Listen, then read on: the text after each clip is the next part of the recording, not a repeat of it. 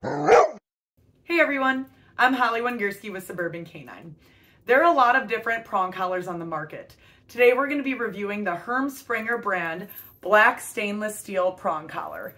You can see this is a size 2.25 millimeter. We like to classify this as our small prong. So there's a couple of different metal options. This is the black stainless steel. They also have a silver alloy metal. That's steel as well. It has a nickel base. And so we're gonna kind of be comparing the two today. So here I have both collars. Here is the silver nickel based prong collar and then here is the black stainless steel.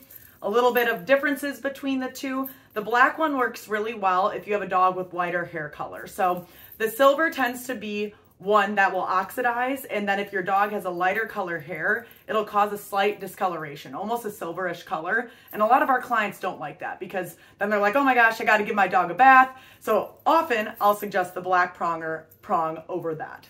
Now the silver is at a much better price point than the black collar. So the black collar could be anywhere between $45 and $65 on Amazon, whereas this one right now is priced around $29. So you can see that there's a big price difference between the two, but if you definitely don't care about your dog having changed hair color, if you have a lighter color dog, this one is probably a better fit versus if you're like, hey, let's ball out, let's get a more expensive collar, let it be low profile as well. It's not as obvious. If you have a prong collar on your dog, you could stick with the black prong collar. Another thing as well to keep in mind is the black collar works really well if you have a dog that has skin sensitivities. So with the nickel based collar, a lot of dogs have skin sensitivities to nickel. So the black collar usually does a lot better with their skin, doesn't cause any irritation. So that's another reason where the black one may be a lot better than the silver. Now, another thing to keep in mind when using this prong collar, it still has the tightening capacity just as this one does as well tug, release. It gives a uniform tug all throughout. The prongs still do go in both different directions, so it's uniform there too. But the, this metal, if you squeeze it, has a little bit more, you know, give and whatnot. So if I'm squeezing this too hard, you might bend the link. So I usually am a little bit more delicate when I use this. I pop it in and out. It actually pops in and out a lot easier than the silver one. So you just got to be a little bit more gentle. If you have this one, you might need to squeeze a bit more firmer. I could really tell the difference actually. So here I have to squeeze a lot more to get it out and then squeeze to pop it back in. One suggestion we often have to our clients is to avoid removing from this end link, link here and then same thing goes for this end link here. The reason being is you could purchase separate links on Amazon as well. So if this one end one gets bent over time, you almost have to replace the entire collar. Whereas it's a lot easier to buy a couple of links online, replace the middle ones if they get tarnished over time. So definitely be a lot more careful when removing the links on this one. You don't want to be the Hulk and squeeze as much as you can and then boom, the link's bent and it's easier to pop on and off. A good rule of thumb is before you use the collar, every couple of weeks, double check that the links aren't popping out by moving the collar like this. If a link pops out very easily when you move it up and down, just like this, that's not a good sign and I would definitely replace that link or remove it.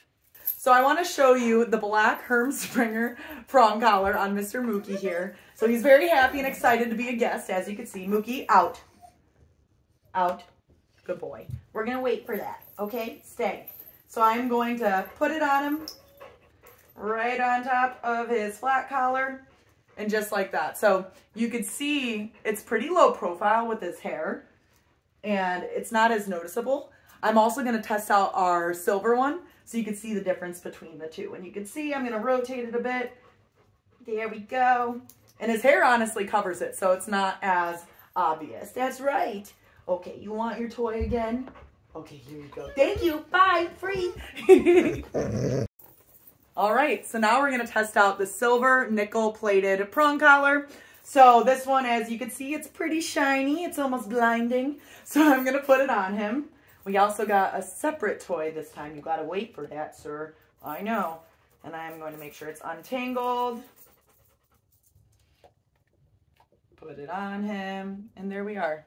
You can see it's a little bit more obvious for sure. So definitely shinier, not as low profile as the black. So if you do have a lighter color dog, um, you know, the metal won't be good with this collar.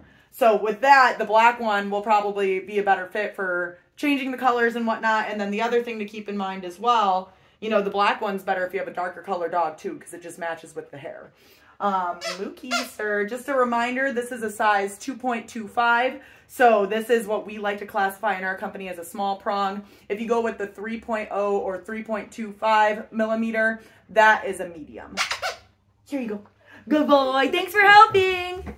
We hope that you enjoy Herm Sprenger prong collars and the black stainless steel as much as we do. If you're interested in purchasing, his tail hit the tripod. If you are interested in purchasing, definitely check out the link below our video. Thanks for watching.